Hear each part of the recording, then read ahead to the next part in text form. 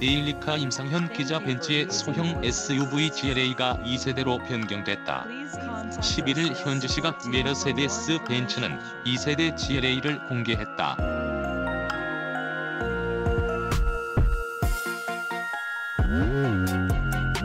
전세대 대비 SUV 다운 요소를 적용하고 하이브리드 버전의 파워트레인을 추가하는 등 안팎으로 큰 변화가 감지된다.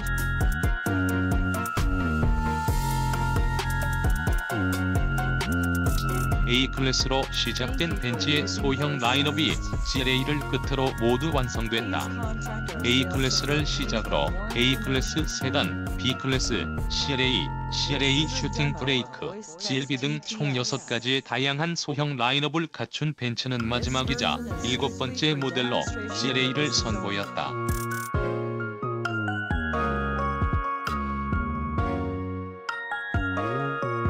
벤츠는 1세대 GLA가 동급 경쟁 모델들 가운데서도 SUV로 분류하기에 부족하다는 여러 의견에 따라 사이즈를 키우고 전고를 높여 실내 거주 공간 확보와 다양한 주행 환경에 대응할 수 있도록 했다.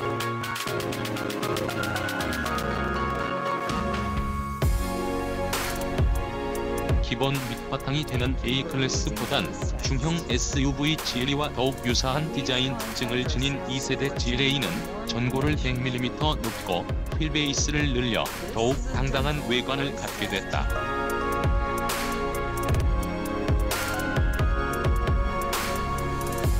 휠베이스가 늘어난 만큼 1세대 GLA에서 지적받은 2열의 거주 공간도 늘어났다.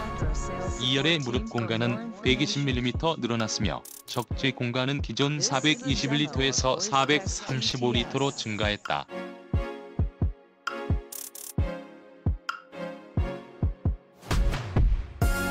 실내 인테리어는 A클래스, GLB 등과 동일한 모습이다. 최신 인포테인먼트 시스템인 MBUX가 탑재돼 음성인식 명령과 애플 카플레이, 안드로이드 오토 등을 지원하며 증강현실 내비게이션이 장착된다.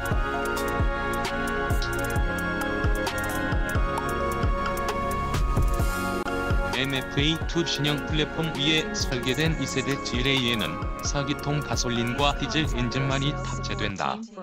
최고 출력 122마력의 GLA 180부터 306마력의 GLA 35, AMG까지 다양한 트림이 선보여졌으며 오는 2020년에는 플러그인 하이브리드 버전의 GLA가 잇따라 출시될 예정이다.